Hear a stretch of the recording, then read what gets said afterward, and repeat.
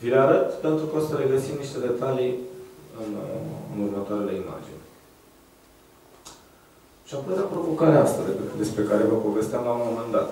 Termin facultatea, nu vezi de Corbusier, știi ce a făcut. Îl vezi pe Wright, vezi că, așa, când am dat admiterea, era uh, imaginea asta în facultate. Am fost fascinat și dintr-o dată trebuia să mă întorc la cealaltă.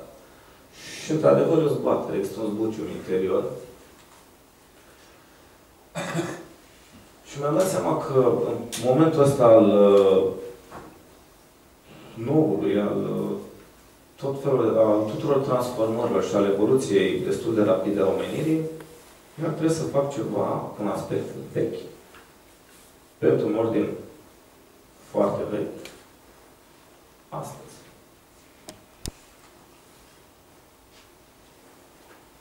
Ca motiv de inspirație au fost bisericile de la noi și nu numai. Asta, probabil că știți, dar am să mai spun pentru cei care poate nu știu. Aici, în partea dreaptă, e o biserică gotică. Frumusețea goticului este că a reușit să desprindă foarte mult tavanul de ceea ce era jos. Printr-un uh, sistem constructiv creat în, acea, în acea perioadă. Mă rog, nu s-a creat dintr-o dată, ci a evoluat foarte mult în acea perioadă. Sunt aceste intersecții de bolți și aceste nervuri. Practic, ele erau construite foarte inteligent, uh, pe chei de boltă, pe, pe pietre și așa mai departe. Dar, în principiu, nașterea, uh, era, era vorba despre nașterea acestor nervuri, care creau și au creat în gotic o întreagă decorare. S-au transformat din structură în decorație, o, o nebunie ce din urmă. Asta e o biserică simplă. Avem un spate de biserică moldovenească cu un acoperiș frumos care protejează toată absida. La fel îl vedem aici. O biserică făcută dintr-un lemn, care atunci când e privită și pătrunsă, te duce cu gândul la suficiență. Nu trebuie mai mult decât atât. Pentru tine ca om. La fel, biserici, case care aveau câte o turlă și semnau biserica. Detalii din lemn, minunate, simboluri, îmbinări între alb și negru, doi copii. Echipa de suporter. Echipa de suporter care supereau după o zi de pozare în Muzeul Statului. Detalii din lemn, Și am ajuns la asta. Asta este planul, planul nivelului pământului, parterul.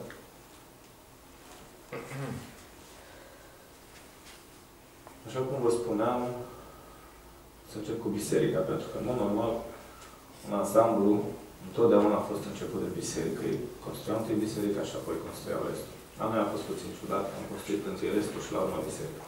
Ceea ce a fost bine pentru că s-au păstrat bani și s-a construit cum trebuie.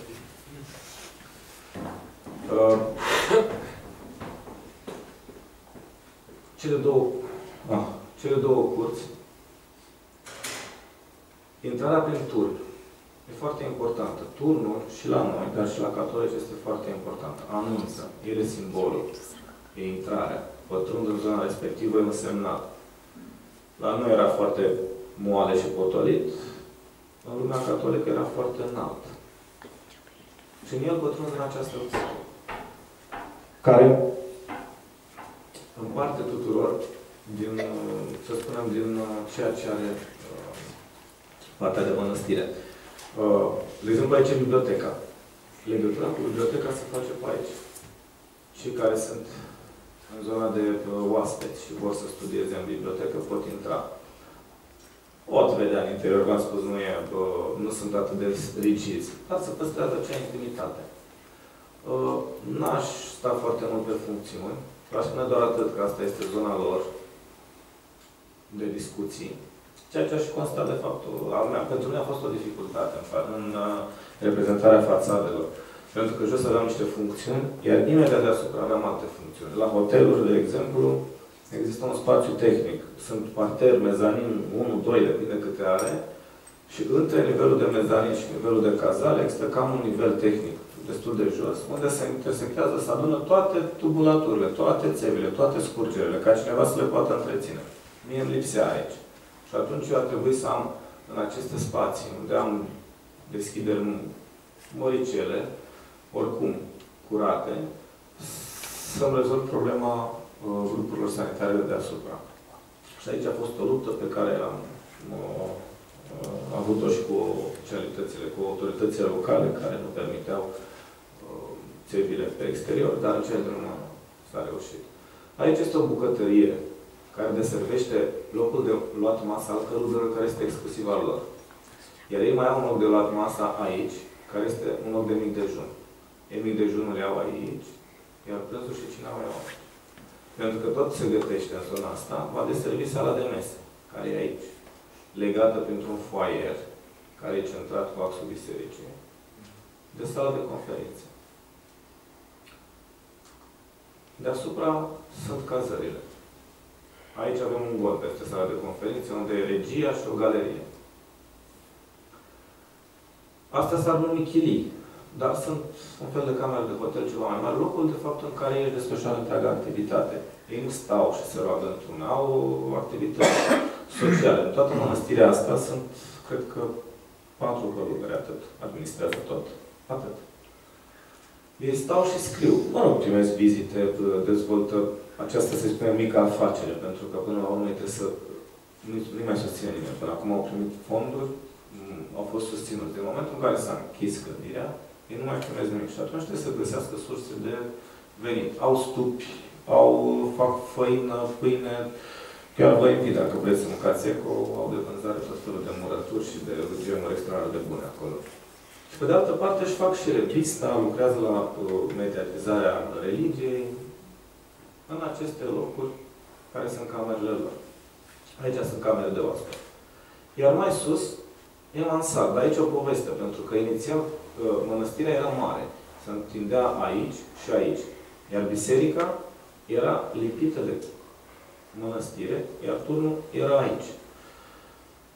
Când am proiectat uh, mansarda, am spus că că să gândesc o mansardă liberă, foarte ușor de utilizat. Reacția a fost, o, nu, sub nicio formă, mansarda nu, nu avem nevoie, acolo să adună toate mizerile. Zic, părinte, până la urmă, ori mie nu mi-e greu să desenez astfel încât voi să folosiți dacă vreți mansarda. Nu avem nevoie, nu ne interesă.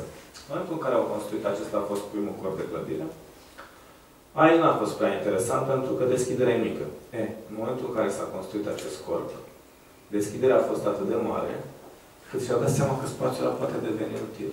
Și au zis, stop, ne facem tot proiectul. Nu mai vrem zona asta și nici asta și nu știu cum facem. Păi zic, și cum facem asta? Păi aveam două curți, ăsta e conceptul, practic îl dăm peste cap. Nu știu, e mai puțin important dacă ne restrângem aici, practic cu zona asta rezolvăm tot ceea ce ne trebuie. Și a trebuit să schimb tot. Cum să mai păstrez curte când nu mai avem mănăstire? Povestea mea cu biserica nu era gratuită, pentru că eu o lipisem de mănăstire, pentru că în vechime, bisericile catolice erau băgate în, în zona de chiostru, pentru că el năștea din biserică și asta mi s-a părut ca un simbol, ca o legătură.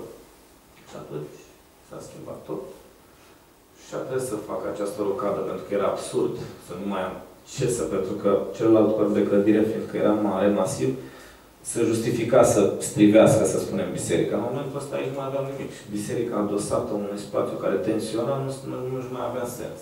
Și atunci am făcut această rocadă, am făcut accesul în incintă prin turn, pe sub turn și am pus biserica în dreapta. Iar aici am construit un portic. O construcție pe nivel parter, deschisă, cu o structură din lemn care le permite lor să-l folosească, să-și desfășoare diverse acțiuni vara, toamna, când e frumos. Pentru că e protejat de ploaie, de zăpadă. E chiar frumos. Și asta a fost, să spunem, finalul uh, gândirii. Și au rezultat niște fațade de genul ăsta, care te duc foarte mult cu gândul la tradițional. Un prieten de-al nostru, trecând mereu prin birou în perioada aia, nu are ce legătură cu arhitectura, era chiar uh, specializat în vânzări. A văzut că lucrăm. Și după ce am văzut mașucare fațadă, ce mamă, restaurați lui Manuc? Am zis că încă nu, dar e posibil în viitor apropiat să facem niște demersuri pentru asta. Așa că, uh, totuși, în interior, aveam acea dorință de a uh, trece dincolo de aceste proporții. Pentru că uh, tot ceea ce vedeți aici are în spate un studiu amplu. Pentru că în momentul în care am realizat că trebuie să lucrez tradițional, am zis, ok, dacă trebuie să o fac, trebuie să o fac bine. Și am studiat arhitectura tradițională, vă spuneam, că am regăsit extraordinar de multe proporții, de frumuseți, pe care poate că le știam, dar nu le băgam în seamă. Și am început să, să le introduc, să spun, în zona asta, dar am încercat totuși să nu dau copy-paste, să creez totuși o arhitectură într-un fel monumentală, pentru că arhitecturii românești, arhitectura e foarte multe mănăstiri, dar uh, nu atât de uh, elaborate din punct de vedere al, uh, al lemnului. Și am zis că dacă am această ocazie, de ce să nu, uh, să nu o fac? Uh, Călugării își doreau pe de altă parte foarte multe ornamente la partea superioară, exact cum sunt ocnițe. Adică era, aveam un călugăr, uh, era stareț atunci. La ei o procedură, nu sunt stareți ca la noi pe viață. Ei se rotesc, ei sunt un fel de manager, sau cam patru ani. După patru ani au postez, e și logic, și prea altcineva. Este un fel de uh, schimb între călugări ca să preia fiecare din aceste frâie. Nu, nu devine stareț și rămâne pentru totdeauna acolo. Și acel stareț era pasionat de artă. Și avea un stil extraordinar, nu înțelegea nimic din ceea ce prezenta noi 3D. Absolut nimic. După două ore de discuții spunea că n-a înțeles nimic. Da, înțelegeau ceilalți, ceea ce era foarte îmbucurător. Și schița într-una și desena și făcea, eu vreau o cniție și să fie pictate. Și băi, e, e mult, e prea încărcat, n-avem, trebuie să găsim alt simb, alte legături cu tradiționalul. Nu știu, după ce făceam așa două teori, spunea, oricum știi ce, voi sunteți arhitecți, ia hai, plecați și când ne întâlnim data viitoare să rezolvați ceea ce, ce am discutat noi astăzi. Cam astea au fost discuțiile. Uh, e foarte interesant să lucrez cu ei, pentru că um, sunt ca o familie, se ceartă, au probleme, dar în cele din urmă sunt foarte serioși. Ceea ce mi-a plăcut la uh, colaborarea cu Biserica Catolică este că o organizare extraordinară și că iau în calcul tot ceea ce le spui. Nu negociază foarte bine la început, uh, să poartă discuții aprinse, dar în momentul în care s-a putut palma, sunt foarte serioși și rămân pe direcția respectivă. Cu mici schimbări, logic, cum a fost cea cu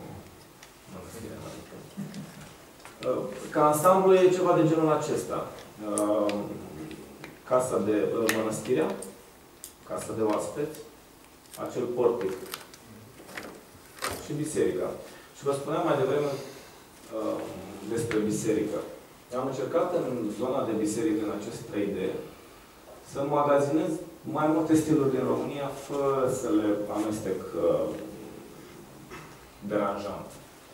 Și în spate, vedeți, e această poală largă pe care vă arătam la Biserica din Moldova, care practic deschide foarte mult.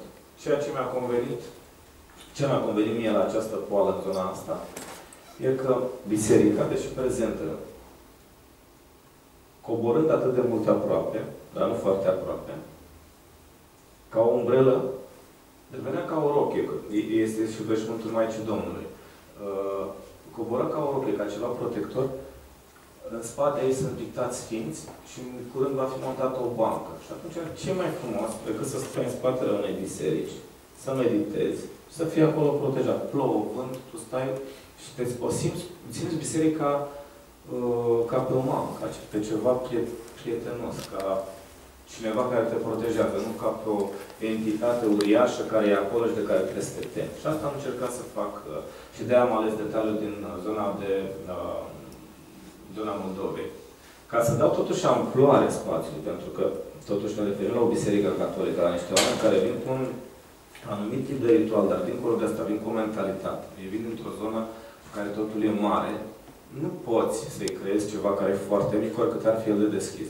Și atunci am ales ca zona centrală să fie din zona Maramureșului, care e foarte înaltă. Deci mi-a Așa am ales partea de, de mijloc. Chiar fața, dacă vă mai amintiți, Cozia este un arc foarte discret care, uh, care te cheamă.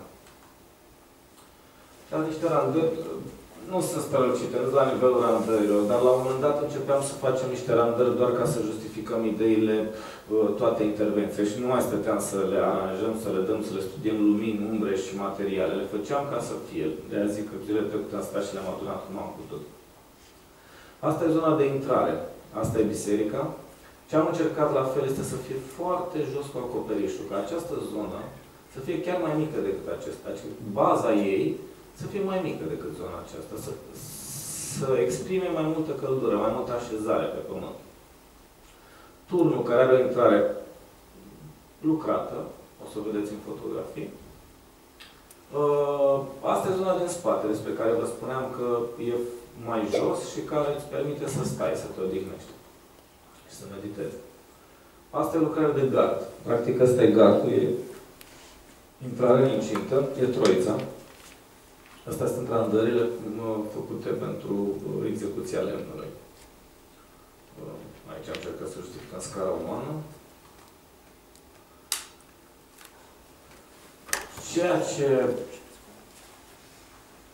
am urmărit și urmăresc în orice proiect al meu este uh, proporția și numărul de aur. În tot ceea ce fac, încerc să introduc și să păstrez anumite proporții. Chiar vorbeam cu cineva la birou zilele trecute apropo de asta apropo de ceea ce îi oferă omului, și apropo de ceea ce el poate să înțeleagă și ceea ce primește fără să înțeleagă. Sunt lucruri pe care poți să le dai fără să le priceapă și să nu se întâmple nimic. Dar sunt lucruri pe care poți să le dai să nu le priceapă și să întâmple.